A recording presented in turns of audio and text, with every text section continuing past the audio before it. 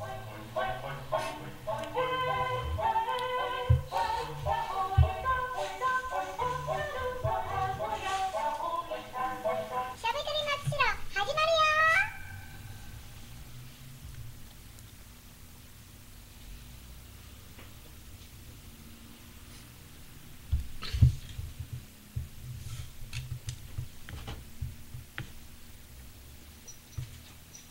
い、皆様こんばんは。10月30日月曜日、366回のしゃべくり真っ白な時間がやってまいりました。えー、今日の真っ白はですね、昨日のあの天気からずっと変わりましてですね、えー、天気も良くてですね、えー、この真っ白の街並みっていうんですかね、街並みもそうですけど、この周りの山々もですね、色づき始めまして、本当にあのいい季節になりました。はい、えー、今日のゲストをご紹介いたします。えー、松代中心市街地、えー、活性化協議会会長の茅松美さん、はい、こんばんは。よろしくお願いします。それとですね、事務局の山谷由美子さん、よろしくお願いします。山谷です。よろしくお願いします。はい、えー、その次ですけども、えー、城下町松代町並み景観賞の審査委員の長尾明建築研究所の長尾明さんです。よろしくお願いします。よろしくお願いします。えー、さて会長の加山さんにお伺いしますけれども、はい、今回約20回ですかね、はい、えー、城下町松代、えー、町並み景観賞を迎えたこの趣旨っていうのをですね、ちょっと説明していただけたらいいかなと思いますけれども、はい、一応まあこういう形で景観賞、そうですね。あの景観賞を作ったっていうのは背景がですねちょうど、あの平成5年に高速道路がインターチェンジが開かれまして、で松代もいよいよ街づくりが必要だということで、うん平成6年の時に商工会議所の中にあの町づくりの特別委員会っていうのを作ったんですね。はい、でそのとこで花によるとか食による文化による景観によるっていう4つの部会ができまして、うん、まあ、景観づくりをどうするかっていう中でいろいろ研究していく中でちょうどあの、商店街がですね、え木町通りがあの道路広がることになって、はい、えそれに合わせて景観づくりやろうよと、うん、城下町らしい街並み作ってこようというようなことで、はい。はいちょうどあの今日来ていただいたあ長尾さんからですね、はい、こう街並みづくりの中で景観、うんえー、素敵な景観づくりをやろうよっていうことを提案していただいて、うん、まあ、いろんなところ視察に行ったんですね。でそのあの県外にも視察に行きながら、はい、やっぱり城下町松代っていうのはあのこう点在文化財が点在しててなかなかつながりがないので、ね、やっぱそれを街並みをつなげることによって、もっともっといい街になるんじゃないかなということで。うん。えー、それそうするためにはどうすればいいんかなって考えて平成10年に、はい、景観賞っていうのを会議所で作ったというのが立ち上がりですね。で、ね、趣旨としてはやはりその、はい。城下町らしい街並みを作っていくことによって、はい、えー、まあ、住民の人たちもですね、うん、大変こう心を憩える街だと、はい、観光の街としてもこういい街になるんじゃないかなということで、うん、スタートしたのがあの始まりです。なるほど、ね、はいまあ、今現在、まあ、それが少しずつ実を結んできてるかっていう感じですねこの20年間の中で、うん、えー、大変いい街になってるんじゃないかなっていうふうに思いますね。ねはい、はい、分かりました。まあ、これあの、まあ、20年続いたと言われましたけども、まあ、あのあれですね景観賞、まあ、これどんどんこういう形で、まあ、やって今回もこういう募集をかけてっていう形でもね、はい、やっていらっしゃるんですけども。あのあれですかね、この街並み景観整備事業っていうのはこれありまして、はい、まあ、こういったのが出てきて、ね、そうですね、これあの、そういった延長線上の中に、平成の14年度から長野市が、えー、真っ白の街並みを良くしようということで、城下町らしい街並みを作っていこうということの中で、うんはい、えー、事業を、補助金事業ですね、国土交通省の事業を、まあ、10年間、えー、取り組んだんですね。ね。でそれの要項ですね。なるほどね、はい。はい。まあ、こういった中にもこういうあのあれですね取り組みそうですね。街並みっていう中には、はい、あの道路のですね微装化とかっていうのもあるし、はい、土塀とかですね、はい、ブロック塀だったものを土塀にするとかいうようなあのそれからこういった街並みもですね瓦屋根を作って、使っていくとか、いったようなあのそういう整備をだいぶしていったんですよ、ね、なるほど、はい、これも多少補助金いただいてみたいな形になりますか？そうですね。あの45件46件だったかな、うん、補助金を対象になって、うん。かなりいい街並みになったと思います、ね、まあ、これ見るとあれですね。これゆったりと歴史の流れる城下町みたいな形で、え。ー、こういうこの枠組みの中にもこういうあれですね。決めて、はい一応補助金みたいな形ってあるんですか、ね、そうですね、えーと、72ヘクタールというこの町の中の中心部を対象にして、はい。はい、その中で協定結んでもらって、はい、補助対象になったということですね。はい、はい。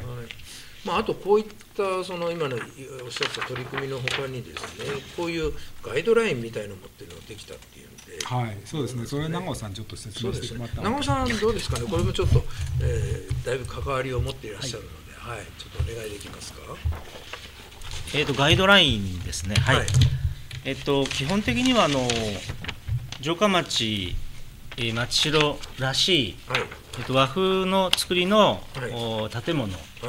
えー、工作物、はい、あるいはあの広告物が、はい、えーと、受賞対象になっています、はい、で具体的な例を挙げますと、ちょっとパネルを、えーと、見ていただきたいんですが、えーと、松代の鐘楼のお隣にこう板塀の住宅がありますこれなんかあの鐘楼と、えー、景観的にマッチしているということで、まあ、住宅として受賞になっていると、うん、あるいは、えー、っと松代、えー、っと文部学校のそばに、えー、っと消防団の詰め所があります。あありますね。これもあの近くの真田って文部学校と景観的にマッチしているということで、えー、景観対象。この辺がまあ建築物ですね。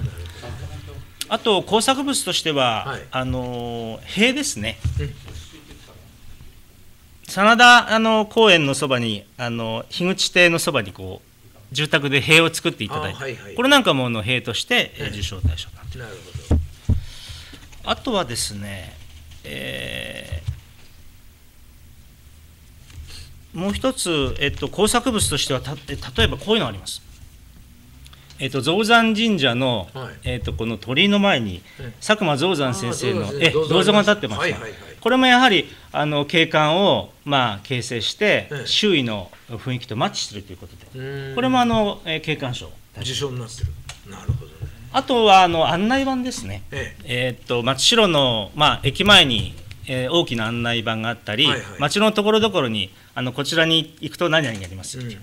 案内板が何か所かありますが、はい、それもあの瓦屋根を載せたりして、まあ、和風の佇まいで、非常に、えー、周囲の環境とマッチしているということで、えー、案内板も、えー、受賞対象になってます。案内板も OK そうですね。ですので、まあ、建築、はい。えー、塀、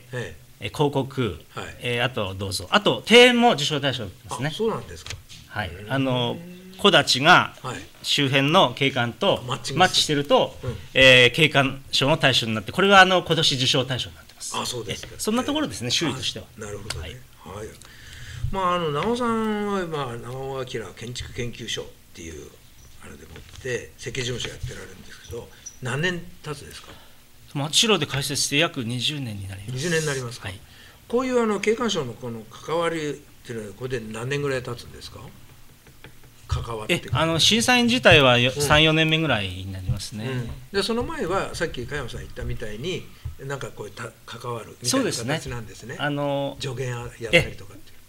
例えば木町さんの町並みづくりに協力させていただいたり、あとはあの受賞させていただいたりとかそういった経緯もあってここ何年かはあの審査員をやらさせていただいてます。やっぱりあれですかねこういうその松代の町の中でまず小さいとこから生活してるのでやっぱりそういったそのなんていうかな崩れていくのが嫌だよみたいな形のあれがありますかね、まあ、同じ建築家とすれば設計家のあれとすればどうですか？そうですね。あの、まあ、時代の移り変わりもあるんでしょうけども、ええ。えー、っとかつてはその純和風といいますかね、うん、えっと、城下町松代に非常にこう歴史的な流れが感じられるような武家屋敷とか、はい、町屋建築、まあ、受賞作であったんですが、はいええ、だんだんあのやはり施工費の問題とかもありまして 少なくなってきましたので、うんうん、えー、そうですね。近年は、はい、あの例えばモダン和風であったり、はい、えー、必ずしもその松代の城下町風にぴたりと合致してしていなくても、うん、まあ、和風で周辺の環境とマッチしていれば、うん、えー、景観賞の対象にしてもいいんではないかということで、うん、だんだんその辺はあの、えー、基準が緩和されてきたっていった流れはありますね。まあ、時代とともにっていう形になるんですかね、ね。はい、まあ、お金の問題もあるでしょうけど、ね、えあのね補助金の問題とか非常にあの複雑な問題があるんですね。なるほどね、はい、うん。だけど今このあれですかねその審査員っていうのは何人ぐらいいらっしゃるんですか？え56人67人でしょうかね。まあ、その人たちでやってる、まあ、いろんな方、まあ、建築ばっかじゃなくてっていう形ですか？そうですね、うん、審査委員長の相原先生がまあ建築の専門ですけどあと私も建築の専門ですがあとはその松代の自治協の会長さんであったり、はい、あと商工会で活躍されてる委員の方であったり、うん、いろんな視点から、あの松代の景観賞の、はい。えーまあ、対象作品を選定していこうっていう姿勢で、はい、えー、取り組んでおります。なるほどね、はい、さてお待たせしました。山谷さん、ね。まあ、事務局としてですね、まあ、これ今、あのいろんなものを募集かけてこれ来てますけど何件くらい今この8月の時にあれですかね来てます？はいえっ、ー、と今年は、はい。えー住宅の新築や、はい、庭の改修など含めて8件の応募がありまして、はい、そのうち4件が、えー、景観賞を受賞しました。はい、なるほど。あれですかねその何件もあった中でいろんなものあのものがあるんですけどもその審査する、まあ、中でなんかこれはこうかなあとかなってやっぱり皆さんで論議はやっぱりいろいろするんですよね。ものすごい熱い、はい、あの長時間にわたって、はい、いろいろとご審議いただきまして。あなるほど、はい、した。あれですかね、加山さん、あのこの検査の中にいろんなものがあって、一次検査、二次審査とかっていろいろあるかもしれないですけど、その審査状況っていうのはどういうあれですか？そうですね、初めはいろんなあの、職員とかみんなあの応募してきた写真でもって、はい、まあ、机上でもってまずこう見てですね、はい、でそこであのこれはいけるんじゃないかっていうことの中で実際にあの審査員の皆さん方に現場を見ていただいて、はい、そして、えー、見てきたものを踏まえて、あの審査をするとい。う形ですので、ねえー、かなり厳しい審査だと思います。あそうですか、えー、はい、厳正なる審査をやっていただいてます。はい。まあ、あと長尾さんにちょっとお聞きするんですけども今城下町松代っていうのは町並みデザイン協力基準もありますよっていうのでちょっとこれ説明していただいていいです？これなんか123あの広告からなんか3種類ぐらいあったりとかっていうのがあって、はい。はい、そうですね、はい、先ほどもあの建築物と、はい。えー、工作物、まあ、塀とか、うん、えー、銅像とか言い。ますけど、あとはまあ高校物ということで案内板、この辺が、えー、っとそうですね、えー、基本的には、えー、和風であり、はい、周辺の環境とマッチしていて、はい、えー、街並み景観に寄与していると。その辺があの、えー、景観賞のポイントになりますが、ね、だんだんあのその辺の基準が若干緩和されてきているというプロセスはありますね。わ、かります。まあ、これ今過去過去10年のやつで、まあ、これ10回からずっと来て今19回、えー、昨年のあれですわね。そこまで。結構あの件数多かったり少なかったりってやっぱりその月年のあれによってだいぶ違うってことですね。そうですね、うん、えー、多い年もあれば、はい、えーと、1年だけ、えーと、ゼロという応募作がなかった年ありました、あそういうこともあるんですか、はい、なんかの都合もあったんかな。うんなるほどね、はい、忙しかったみたいな。ああそうですか、職員が変わっちゃってね。なかなかそこ体制できなかったっていうこともあって1年だけ飛ばしたっていうことがありますね。なるほどね。大体もう100件以上になってるかなきっと。あなるほど、ね。はい。まあ、これもいいやいいですね。啓蒙活動みたいな形のあれになるっていうことでね。あと山谷さんあのあれですけど今後の予定ってどんなものがあるのかちょっと説明していただいていいですか？はい。まあ今なんかこれまちづくり講演会っていうのもやるよみたいな話でちょっと聞いてますので、はいはい、この、はい、町並み景観賞の表彰式と、はい、えー、合わせてまちづくり講演会というのを行います、はい。えー、11月14日の火曜日、はい、場所が長野市役所松代支所の2階になります、はい、えー、2時半から景観賞の表彰式3時15分からまち、えー、づくり講演会を行います、はい、講師として、えー、広島大学の、えー、三浦正幸教授に来ていただきまして、はい、先生の読めば行きたくなる日本の城に、えちなんで聞けば行きたくなる松代城と城下町というタイトルで講演をお願いしています。参加無料ですので、ぜひたくさんの方にお越しいただきたいと思います。はい、わかりました。その他になんかあのパネル展もあるとかっていうのをおっしゃっていましたよね。はい、はい、えー、これまでに、はい、えー、これまで20回のこの松並景観賞を受賞した、うんはい、約100点の建物の、はい、えー、写真を寺町町下で、はい、展示します。はい、合わせて、えー、松代の町並みに関する解説なども掲示します。はい、えーこの講演会を行う11月14日火曜日から、えー、2週間28日火曜日まで、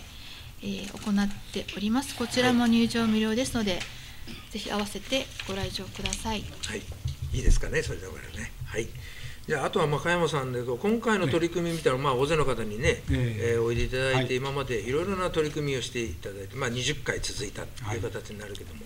この現在の景観を維持してこられたことで、まあ、再認識していただくらいいなっていう、まあ、皆さんにねアピールするんですけど、はい、その今後のあれっていうのはどういうふうにあのやっていくおつもりですかね？そうですね。あのやっぱり20年前と比べてみたらば20年前に真っ白を訪れた人たちっていうのはなんか古びた町で寂れた町だなっていうイメージが多かったと思うんです。えー、あの改めて来てみていただいて、はい、えこんなに綺麗な街だったの、は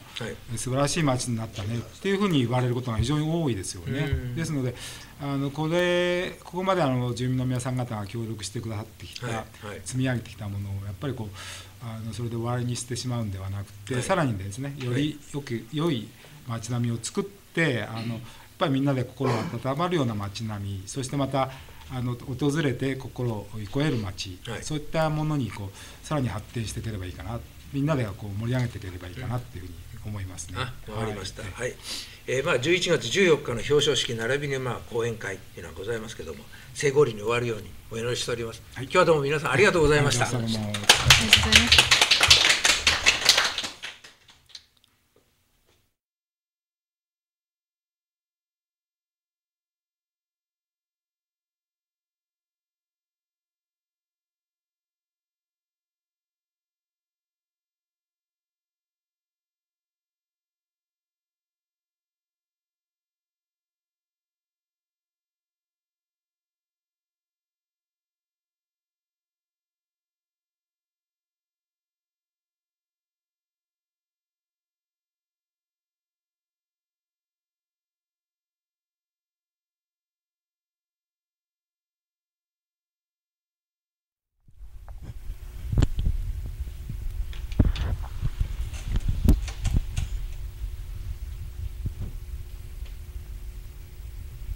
江田さん。はい。じゃあ素晴らしい。はい。あのうちの庭も出そうかな。あいいね。ね。今度新しく道路できるからね。でもちょちょ切れちゃってるでしょ庭。すぐねうちの庭出したらねすぐ却下される、そうでしょ。俺もそう思う。でもでもでもでもあのあ池の水って池の水はいいな。ドロドロ流れてるっていうか、どんどん、どんどん流れてる。んでそうあ、まあ、いやそんな話はいいところで何？これ、えー、伊藤さんね、三陸名産あのー、どういう話大阪の？ね、えっと、保育園の先生、園長先生がね、その歌、